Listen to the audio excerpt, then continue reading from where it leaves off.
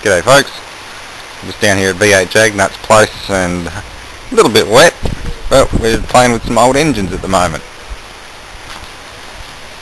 And I also have a little wet dog with me. Funny little thing. This one here is a Suffolk Iron Foundry, well, uh, 1920, Stowmarket, Suffolk, England, engine type 75G14. Uh, four stroke obviously.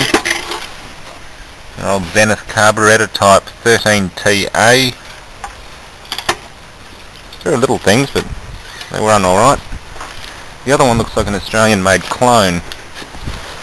Um, model P. It's AH McDonald and Company in Melbourne. But it's US Navy spec 3050 summer and winter hence the broad arrow and designation 517 serial number 773 by the way. Looks like blue's the original colour but they painted the crankcase red. A neat little oil air filter. There's a neat little muffler and air filter on it. Don't know what the carby is very old. 1940s